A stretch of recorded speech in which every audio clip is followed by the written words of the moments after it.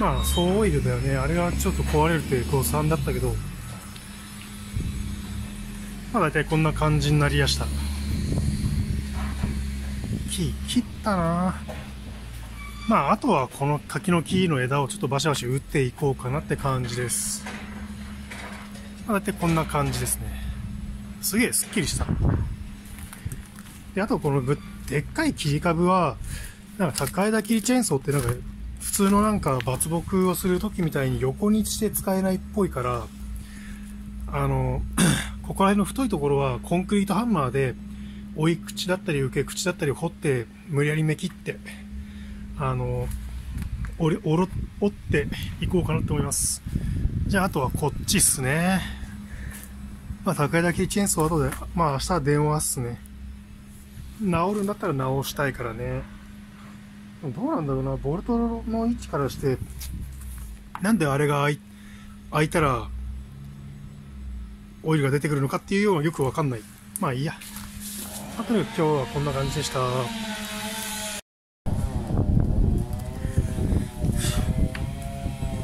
じゃあ、えー、ちょっと多少時間あるんで、柿の木を打っていきます。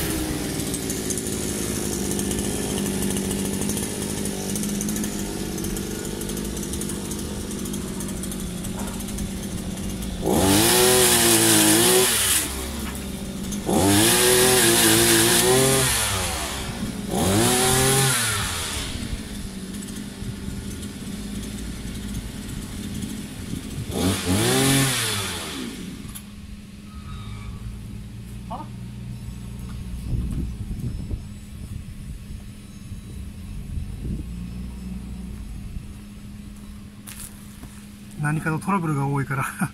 なんだろうね。いきなり動かなくなった。なんかシャフトが抜けたくさい。マジかよ。今日1日目だぜ。使って。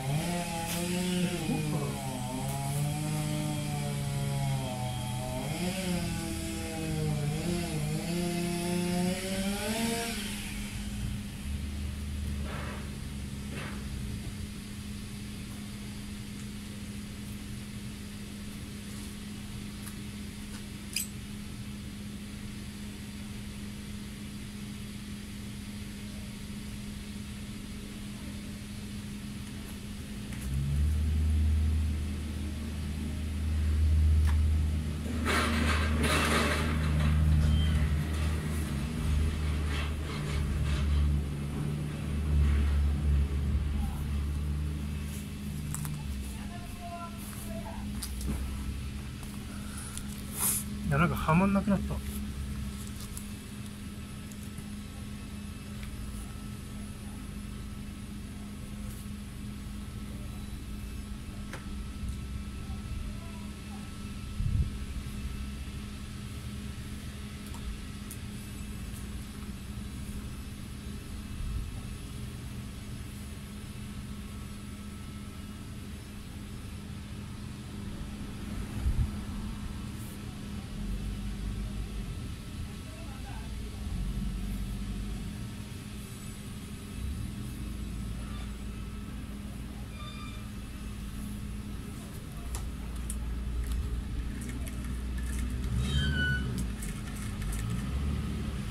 多分動いてくれるとは思うんだけどな。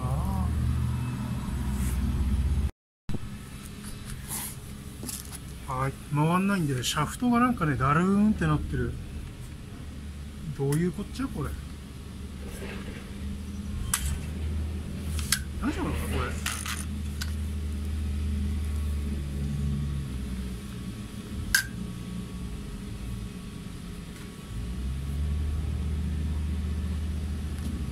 シャフトが抜けたからこれもう一回差し直して動かなかったらまあ考えるわ。とりあえずクレームかな。じゃあちょっと動くかやってみるけど